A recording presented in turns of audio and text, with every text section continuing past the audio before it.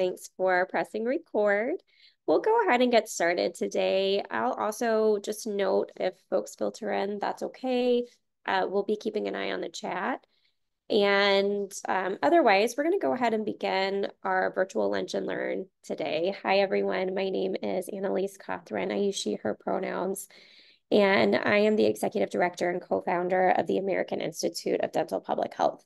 And today, during this Lunch and Learn series, we're going to be chatting about veteran oral health. So I designed this to be a little bit interactive, but if you're watching this asynchronously, you'll still get all the benefit, no worries. We are also available to chat after you've watched this session. So our information is available on the very last slide. Please feel free to reach out anytime if you're not able to join us live. Okay, I'm going to skip this question and give you a little bit of background about AIDPH. Uh, in case you have not heard about the American Institute of Dental Public Health, we are a 501c3 nonprofit, and we are committed to transforming dental public health practice through science, education, and advocacy. And so those are the three content areas that I'll kind of touch on today as we learn about veteran oral health together. And ultimately, at the end of the day, AIDPH really wants to advocate for a justice-oriented oral health system. And part of health justice is ensuring adequate access to care, which is something that we're going to talk a lot about today. AIDPH's mission is to empower our community to advance oral health through science, education, and advocacy, and our vision is a justice-oriented oral health system. I want to reiterate that because these are brand new for us. Um, AIDPH just went through a really dedicated um, branding and strategic planning uh, vision system last year. And as we did that, we recognized that our emphasis on community engagement needed to be at the forefront of describing who we are and what we do, since it's such an integral part of our work.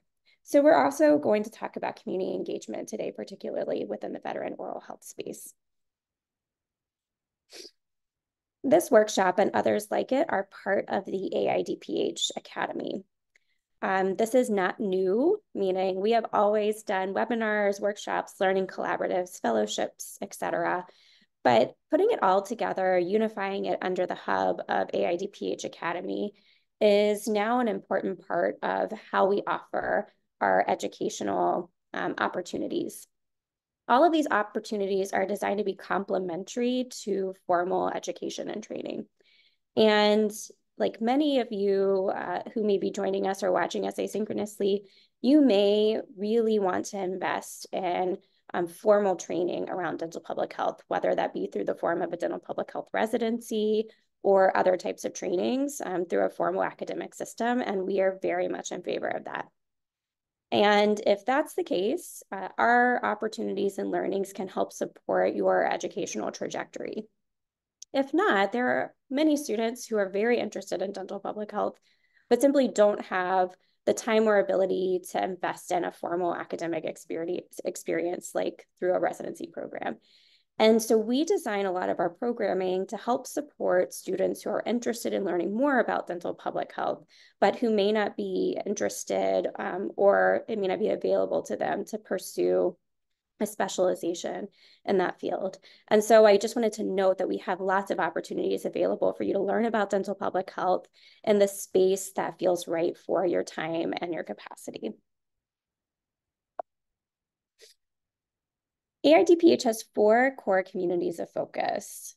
Um, LGBTQIA plus people, veterans, people with disabilities, and rural communities. And we also work at the intersection of all of those communities. So it might be queer veterans or rural veterans or people with disabilities living in rural areas. Um, so today we are going to talk about veterans and um, there's a, a, heavy emphasis today talking about particularly disabled veterans and the healthcare systems that are available to disabled veterans through the VHA. Uh, I don't know how many of you may have heard of community engaged research. It's called a few different things. Sometimes it's called patient-centered research. Um, sometimes it's called community participatory research or community-based research. Um, AIDPH has taken this model of community engaged research and really invested in what that means to us and how we implement it in our organization. And so through this community engaged model, again, as I mentioned earlier, at the forefront of the work that we do is community.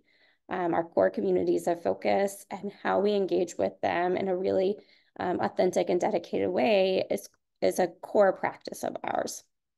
So how we engage in community, community engaged research is uh, we bring knowledge, technical skill, research capacity, and we partner with community members who have lived experience, um, who are representative of that community, um, and who directly benefit from the work that we do. And through that uh, process, we are able to co-create research. We share a strategic vision for implementing research. We build authentic and credible relationships with communities that are long-standing and established. And at the core of that, we make sure that there is trust um, around data ownership. And some of the ways that you'll see that play out with how AIDPH um, implements this model is through our research. And I'm going to present a little bit of our research later, but I want to just note from the very beginning um, that when I talk about veteran oral health, that it's through this community engaged lens. And I'm happy to chat more about that later if there are questions in the end as we go through this lunch and learn. But part of what we do, um, this started for us in the veteran space uh, at about, gosh, four years ago now, three or four years ago now. We were approached by our partners at CareQuest Institute for Oral Health, and they asked us, what do you know about veteran oral health? And I, I sort of had to transparently say, I don't really know anything. Um, my husband is a veteran and a Purple Heart recipient. I am a beneficiary of the military medical system. So my personal lived experience um, around veterans and what they experience with their oral health was very different than my academic and research experience as it relates to veteran oral health. And so I really had to go out and educate myself. I just said, I really don't know what is available. And after that, um, kind of personal discovery, I realized that there really isn't much out there available on veteran oral health. And in fact, everything I could find fit on about one piece of paper there was no research, there was very little information. And what I did find honestly confused me further because the medical system available for, veteran, for veterans is fairly complex. And we're going to get into that um, in our discussion here today. But when I saw that there was very little information available, my next instinct was to say, what can I do to help gather data, to help gather information? And our partners at CareQuest said, let's work together to see what we can do to research this topic. And so the first thing that we did was go to veteran organizations and say, tell us what we don't know. Help us understand from your lived experience what your oral health care looks like. And so throughout 2021 and into 2022 and beyond, AIDPH and CareQuest Institute partnered with veteran service organizations like the VFW, like Disabled American Veterans, Paralyzed Veterans of America, um, and other VSOs nationally, and some state-based and local VSOs to disseminate research and surveys and say, help us collect data. And after that, let's publish together. So many of the publications that you'll see, which I'll show later in our discussion today, have, co have been co-authored um, or otherwise endorsed by veterans because it was collected through a community engaged lens. And our veteran service organizations, um, our partners there, have a vested interest in implementing that research toward advocacy um, to improve veteran oral health care. So AIDPH has been really honored to be leading this work nationally. It's really important to us both personally and professionally. Um, and we're really happy and, and pleased to share the work that we've been doing the past few years with all of you today. We also recently implemented our Oral Health Community Advisory Board. So as part of an extension and really deepened commitment to community engagement and programming, we are now uh, implementing a community advisory board through our research. And you'll see um, with those core communities of focus that I showed earlier, there are lots of people who have lived experience from all four of those communities. And again, who have that intersectional lived experience that span multiple communities. So we can also talk about community advisory boards if questions come up around community engaged research and how we've been able to leverage community engagement um, to support advancing oral health for veterans. So let's give an overview of veteran oral health.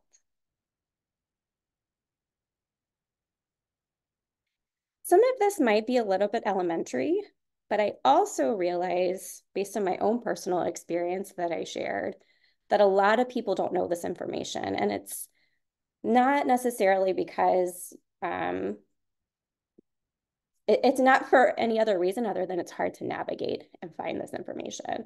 You know, somebody like myself, again, who uh, we are a veteran family, I didn't know any of this information until I had studied it for several months. So let's talk a little bit about how dental benefits are available for veterans here in the US. The first thing to know is that there are two healthcare systems. One is administered by the VHA or the Veteran Health Administration. The other one is administered by the Department of Defense. Um, all of those are determined by Congress. It is determined in federal code who can access what and to what degree. So the Department of the Defense administers healthcare benefits for active duty military members and their families, and in some cases for military members who have retired. That's part of the healthcare system that we're not going to focus on today. What we will be talking about is the other piece of that, which is the healthcare system um, implemented by the Veteran Health Administration. So Congress designates how you are eligible for that health care and to what degree under Title 38. Interestingly, Title 38 has not been revised in about 70 years when it comes to dental care eligibility. It is a very, very limited amount of veterans who are eligible for that. And in order to make changes to Title 38 of the federal code, two things have to happen. One, there has to be a vote and a policy changed by Congress. So that means both the House and the Senate have to agree to amend the code, um, usually through some sort of policy process. And there has to be budget allocated for that in the federal budget in order to change the code and then fund the care associated with that. The VHA is broken up into different systems called VISNs, which are integrated service networks, veteran integrated service networks. And I bring this up because in many ways, the care is fragmented by these VISNs. So sometimes these VISNs are really large, like Texas is its own VISN. Um, some of these are a little bit smaller. And the health delivery system, along with the medical records don't necessarily always talk between all of these VISNs. And so while the eligibility is the same among all of the VISNs, the care delivery system, um, the number of clinics, all of that can be different depending on where you live in the US.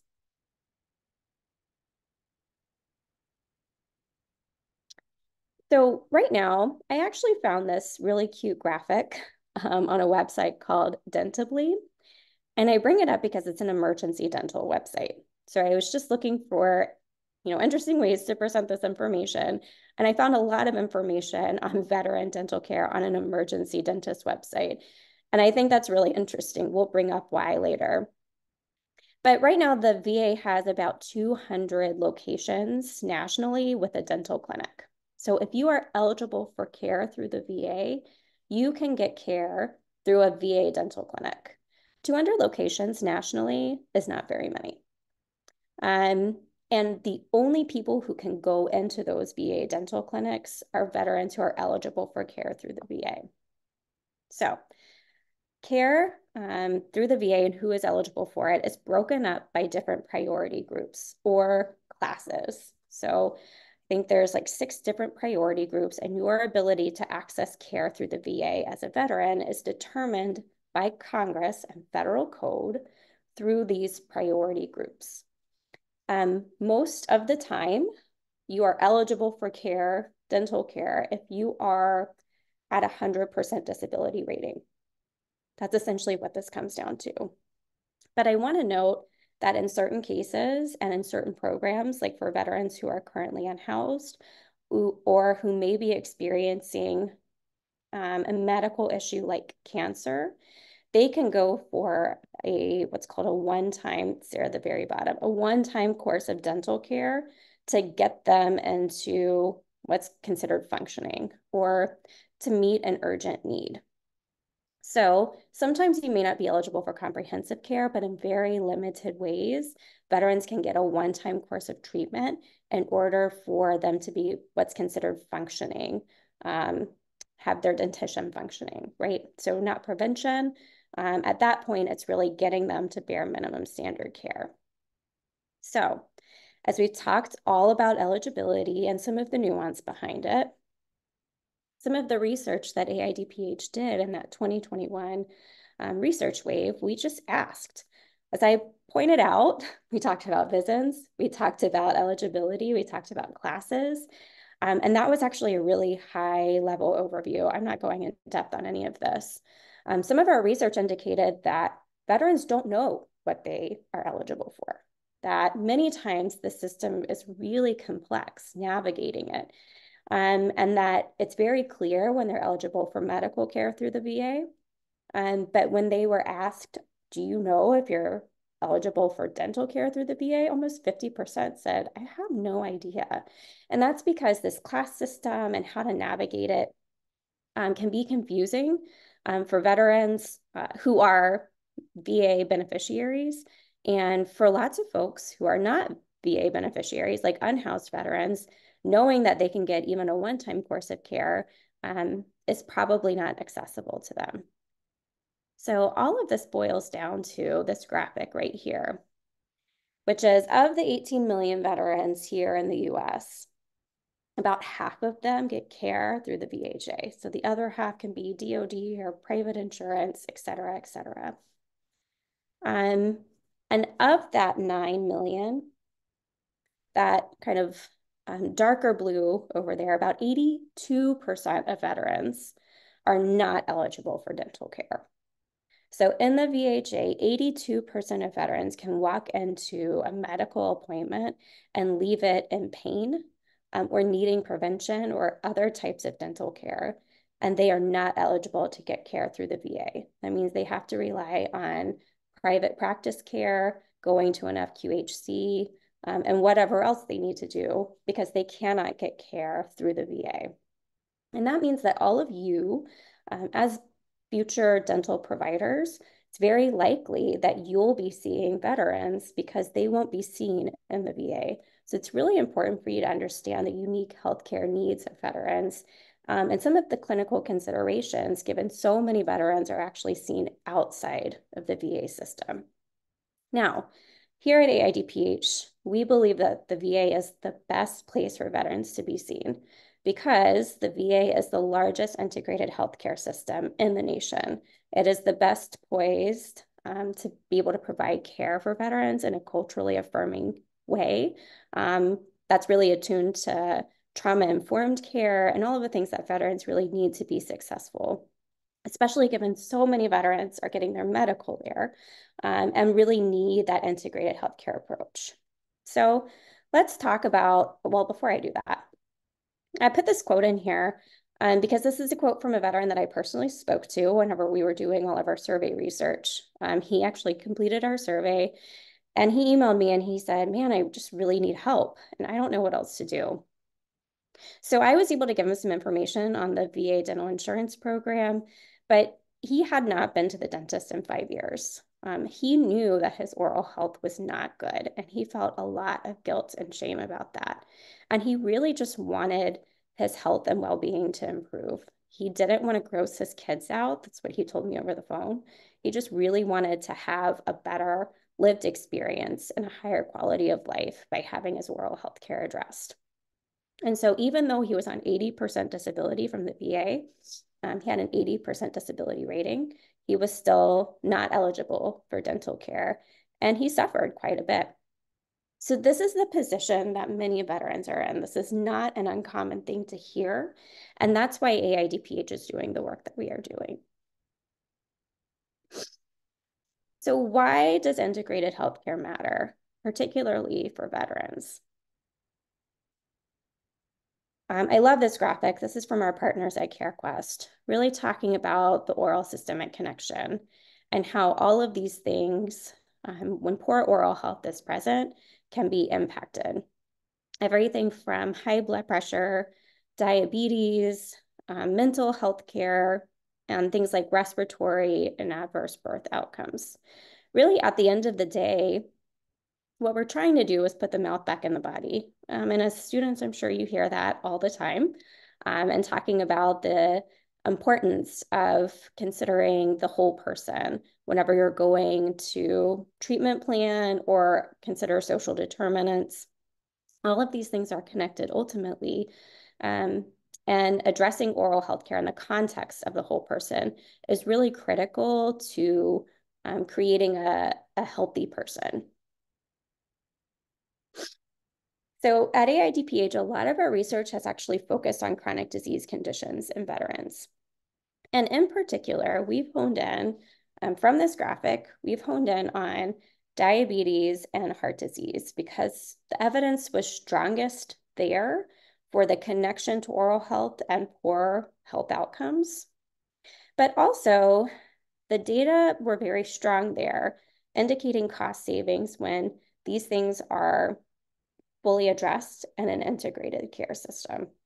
So remembering that the VA is the largest integrated healthcare system, veterans are, again, um, ideally treated in an integrated system where chronic disease conditions are considered along with their oral healthcare needs. So as we were doing this initial research, uh, we looked at survey data that was self-report, but we also looked at large healthcare or large surveillance systems like NHANES and BRFSS, Behavioral Risk Factor Surveillance System. And what we found is that more veterans have diabetes than non-veterans. So in these chronic disease conditions, non-veterans did not have, or veterans rather had more diabetes and heart disease compared to non-veterans. And again, we know that both of those chronic disease conditions um, adversely impact veterans' oral health and total health and well-being. Interestingly, what we also found is that um, through this BRFSS data that we analyzed, veterans with diabetes and veterans with heart disease um, actually reported more frequently that they had seen a dentist in the past year than non-veterans with diabetes or non-veterans with heart disease. However, when we looked at oral health outcomes, like losing all of your permanent teeth, which is a pretty profound outcome when it comes to oral health, veterans with diabetes and heart disease were more likely to have lost all of their permanent teeth. And I think this is a really interesting finding that it's not just accessing a dentist or seeing a dentist routinely that's keeping um, a veteran from something as profound as losing all of their teeth, but there's something else going on here. There's a lack of oral health care. It's not necessarily access or utilization. There's a lack of oral health and a lack of total integrated management that's occurring for veterans and resulting in poor health outcomes. And in fact, drilling down into this data, even after controlling for things like income and education and morality, things that we know tend to negatively influence oral health, veterans with diabetes were 40% more likely to have lost all of their natural teeth than veterans without diabetes. So the presence of that one chronic disease condition increased their likelihood of edentulism by 40%. The same thing happened with veterans with heart disease. So even controlling for some of those exacerbating health factors, Veterans with heart disease were 30% more likely to have lost all of their natural teeth than veterans without heart disease. So again, we're talking about very serious health outcomes that are being caused by these chronic disease conditions that veterans disproportionately experience compared to non-veterans. And this matters, obviously, because we want people to be healthy and because health equity matters and quality of life matters. And we don't want particularly working age veterans um, to be losing all of their natural teeth. That's a really profound health outcome. But at the end of the day, this is also a very expensive health outcome. So um, recognizing that there are lots of health models out there, um, analyzing the cost savings, the medical cost savings of managing your oral health with chronic disease conditions, AIDPH took these measures and um, analyzed the cost savings associated with effectively managing these chronic disease conditions. And what our research showed us is that for every dollar spent uh, managing, uh, or I'm sorry, for every dollar spent um, providing comprehensive dental care for veterans with diabetes, a dollar was saved in medical care management for that chronic disease condition. And for heart disease, for every dollar spent, $2 was saved in medical management for that chronic disease condition. So, in a soundbite, diabetes, essentially that medical management process pays for itself through effective oral health care um, access and integration. And with heart disease, you're actually saving money by giving veterans dental care and an integrated system like the VA. So let's dive into a little bit about how you can learn more about veteran oral health. So AIDPH has spent a lot of time um, investing in veteran oral health care.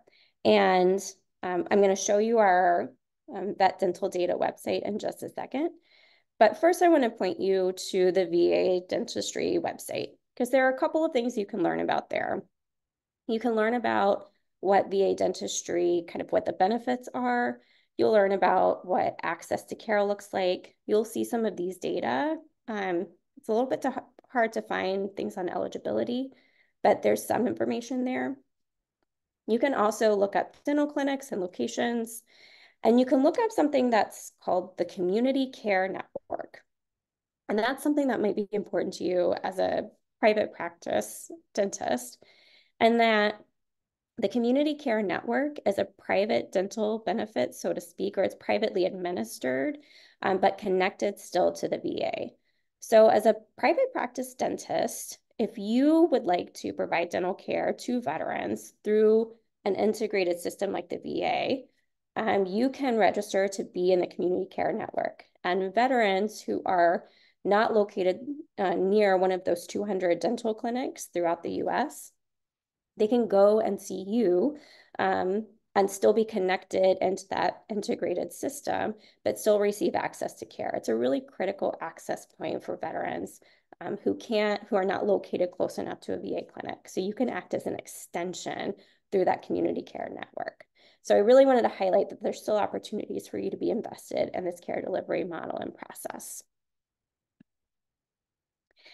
But now I'm going to stop sharing my screen and show you our website, vetdentaldata.org, so that if you want to know more about what veteran oral health looks like, either in your state or in your community, um, or look at our research, um, you have opportunities to do that through vetdentaldata.org, which is um, a resource bank developed by AIDPH and CareQuest Institute.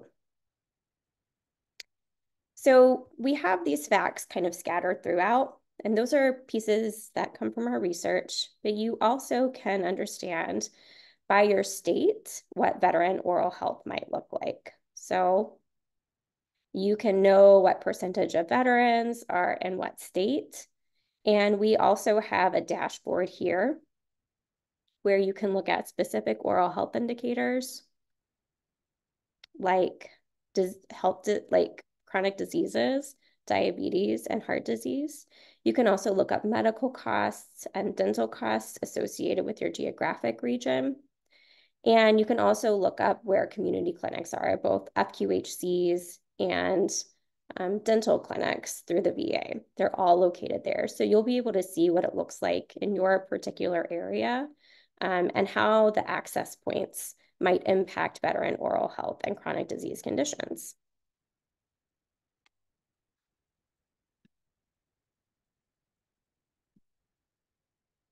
In terms of specific publications, we also have state profiles.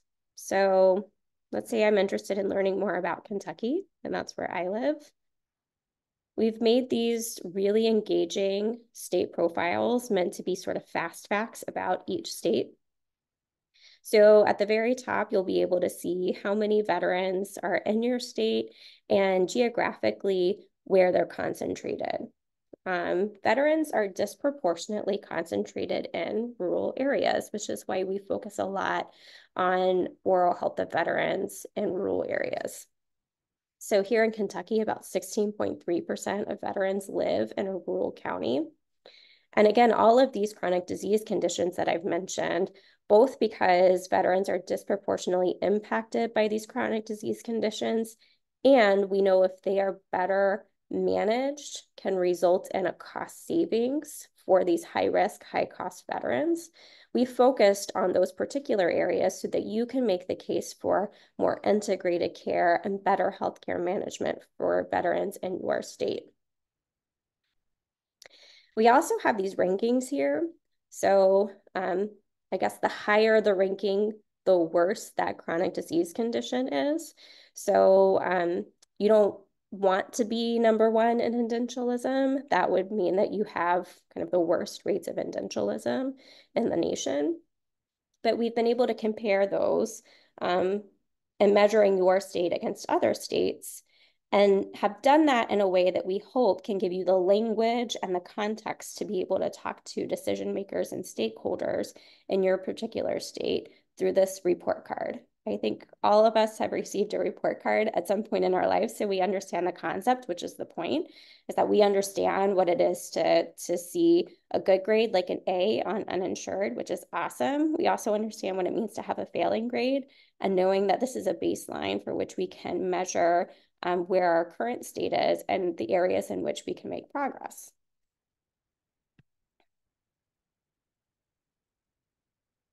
We also have all of our publications here, ranging from um, our most recent one with CareQuest Institute, looking at veteran productivity and well-being, where we actually analyzed um, basically what the employer impact is for working age veterans, not being able to access dental care and having these chronic disease conditions, um, making it more likely for them to miss work, and what the financial um, and quality impact at, is as a result of that.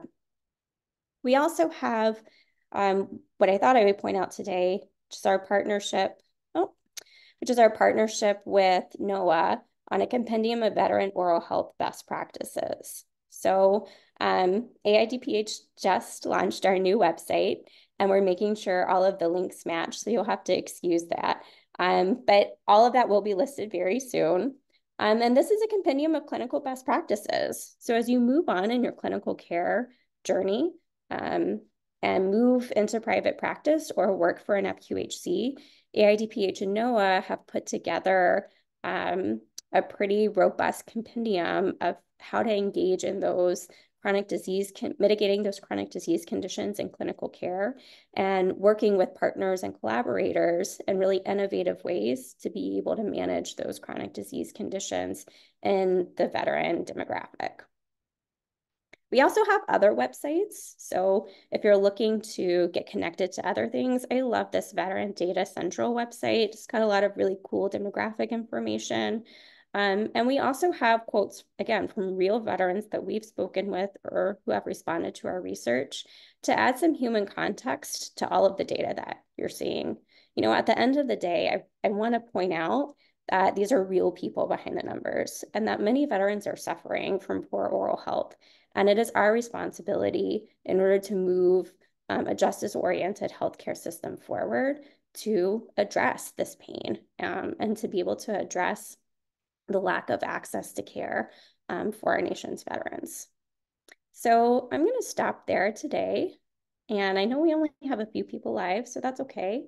Um, but if there are questions, I'm happy to answer them. And otherwise, we'll just make sure this uh, recording is available to anyone who's interested in watching it asynchronously. Uh, we also, as I already pointed out, have lots of resources, so there's plenty to explore on your own. So I'll pause there and see if there are any questions. Annalise, this is Christina. I have a question. In the work that you have done with AIDPH, have you seen dental schools work closely with the VA to offer the services on site? Oh, that's such a good question. So, while I haven't seen dental schools partner with the VA, I would say that is not a common model. Many dental schools act as part of that safety net solution for giving care to veterans. Um, in fact, there are so many dental schools, UNLV included, I'm pretty sure, that have um, like veteran days or weekends where they open up their dental clinic for veterans to come and get um, free or low cost care. And I can tell you that many veterans rely on dental schools as that affordable option for getting care when so many of them can't access care in the VA. So while I, I haven't seen um, that be a successful model unless dental schools through, there's like a Vet Smile pilot program.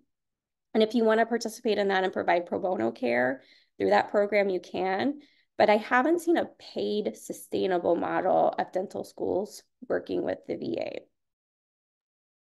Thank you, Annalise. And we do have our Sergeant Farron Clinic, which is our veterans clinic that's offered on the weekends at no cost to veterans are not eligible to receive the VA benefits. But one of the things under our current administration is to see how can we strengthen that partnership with our local VA. Could some of their providers come to the dental school to offer treatment and vice versa? So I was just curious if any other schools have even went down this path to explore that partnership. I think it's such an important one to explore, but I have not heard of it being implemented in a in a financially sustainable way. But I, I think it's a fantastic idea.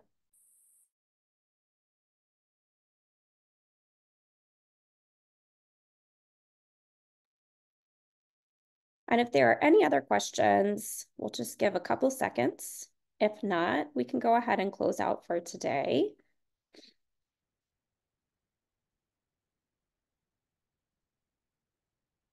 Okay, so hearing none, I will just thank you all for your time and attention. Um, everyone from AIDPH is available to chat about this with you further, both if you're interested in learning about veteran oral health and if you are interested in learning more about our programs here at AIDPH. So I'm just going to pop back to my slides really quickly and share a couple of opportunities. So um, as I mentioned, the AIDPH Academy provides options, educational options for anyone who's interested in learning more about dental public health and is looking for a variety of opportunities that can meet your time and commitment needs, but also your interests. Um, and we, we really aim to provide a, a wide variety um, of opportunities based on currently where you're at with your academic pursuits. So I want to call attention to one program that's currently open and accepting applications, which is our Federal Service Immersion Program. Uh, we just opened that application for a week-long and our fellowship experience in DC, where we take um, oral health professionals, including dental students, to DC. And we go to site visits, we visit federal health agencies, we learn from them, they provide us with all kinds of cool um, access and seminars, um, and that'll be one week in the DC area. So if you're interested in that, we have a link here so that you can look through the application guidance. We're also happy to answer any questions that you may have. And just want to call attention to two other experiences that are opening soon. We have our Dental Public Health Leadership Academy, which is a year-long leadership program that begins in September each year.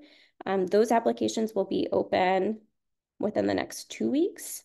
And that is open to you know, really anyone, but in particular, early to mid-career professionals who are interested in gaining leadership skills uh, in a virtual environment. We are also opening applications for our Summer Advocacy Fellowship. This year, our fellowship will focus on advocacy for people with disabilities, and there will also be some veteran opportunities wrapped into that. So if you are interested in participating more in our programming and really investing in a health justice oriented um, education, um, then these might be good for you. So one is open now. We encourage you to apply for it. For the other two, check back to our website or you can email us at info at aidph.org and we're happy to chat further with you. Otherwise, thank you and we'll see you soon. Thank you guys. Thank you. Thank Bye-bye. you, guys.